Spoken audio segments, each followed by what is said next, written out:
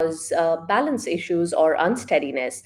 So, uh, if you have ever felt a loss of balance or you felt a bit unsteady on your feet, and you um, you might have attributed it to say physical stress at work or you know mentally when you're stressed out maybe your mind is somewhere else and then you sort of trip over or lose your balance and you come back to regular balance and I mean, there can be multiple reasons why you can lose your balance or feel unsteady on your feet. However, if you have neck pain and you also have balance issues, it is possible that it, I mean, one of the causes for your balance problems can be coming from your neck. This is especially true if your um, neck, that is your upper to mid cervical spine, is affected. So I'll explain this further in the video.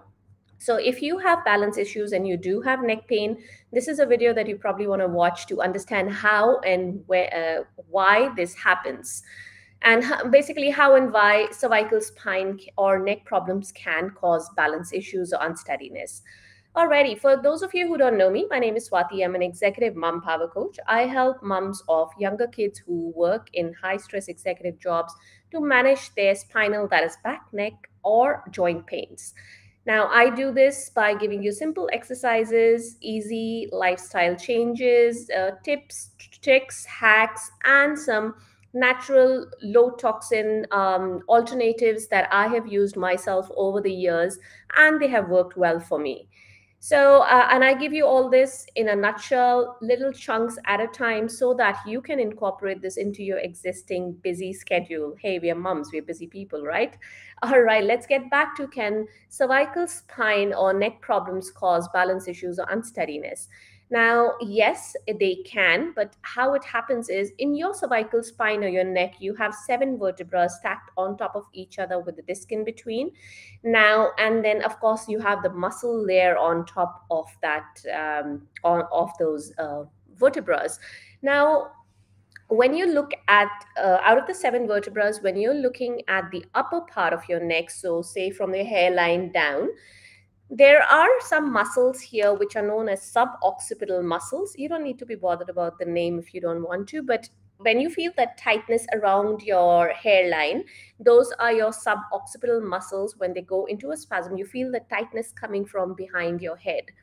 So these suboccipital muscles, there are um, roughly four groups of muscle there on the left and the right However, the speciality of this of these muscles and the reason we're talking about them is they have a large number of nerve endings uh, which are attached to proprioceptors. So, okay, hear me out on this. It's a big term, but basically, proprioceptors are. Uh, okay, let me simplify this. So, if you have nerve endings sitting in those muscles, and those nerves take the signals up into your brain and they tell you where exactly you are in space. So, for example, I'm sitting upright, but if I tilt towards one side here, my body has a few mechanisms which will tell it, okay, body's tilted to the right, and then it'll bring it back to the midline so that I don't fall off my chair. The same for any other position that you are in now the one of the mechanisms uh, obviously is in your ear inner ear your vestibular system but we're not going into that. The other mechanism is proprioceptors or those nerve endings that tell uh, your brain where you are in space. That is uh, the definition of proprioception. So when these muscles have they are they are very rich in these nerve endings. Basically they have a lot of these nerve endings so, like your ankle ligaments, they have a lot of these ner- nerve endings or proprioceptors, your knees as well. So, when your ankle is going off balance, that is how your brain tells uh, your ankle muscle, say you are with your ankle, you're rolling outwards. The brain will tell the inner part of the ankle um, or the foot muscles to pull your foot back in so that you have a stable foot and you don't fall over. All right, so I think I've explained that enough. So, because there is a multiple uh, there are multiple nerve endings in those suboccipital muscles now what happens is when you have pain or you have a muscle spasm in these in these muscles because of n number of reasons. It could be a disc bulge, it could be degeneration, it could be arthritis, it could be stenosis, it could be tumors, it could be any number of reasons. But because of that problem, that pathology that's going on, your muscles go into a spasm.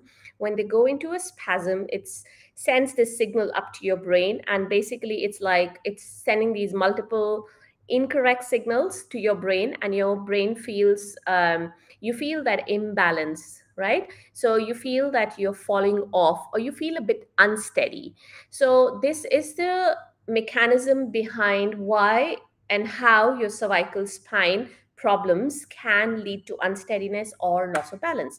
Now, a very quick note on how do you manage this.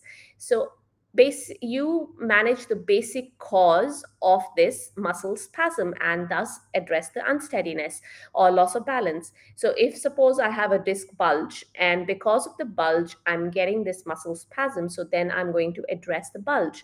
Of course your doctor is going to give you medication but there are n number of things you can do on your own to address the muscle spasm in that area and to address your neck pain. Once you sort that out of course the secondary effect is the unsteadiness that should reduce automatically. Now, if you're looking for some simple solutions to manage your neck pain, I have done a free training in my community. Of course, it's a free community. I will leave a link in the description of this video for my community. And if you're watching me on Instagram, the link is in my bio. You can join my community and you will have lifelong access to these trainings that I have done, out of which one of them is this neck pain training.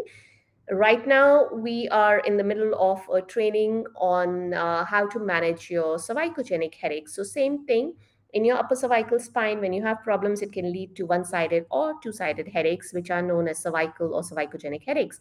So, there are lots of trainings in that free group. So, feel uh, in my free community. So, feel free to join that. And I hope this has been useful for you. It gives you a bit of clarity as to why and what is happening if your neck pain is actually causing that unsteadiness or loss of balance. If you have any comments, any questions, please drop them below this video and I will address them for you.